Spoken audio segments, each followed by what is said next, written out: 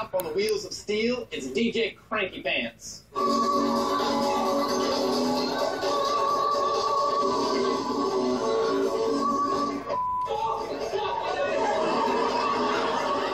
Slut. You could have hit Command Q and ruined the whole evening. That should happen every time Paris Hilton steps up to a DJ booth.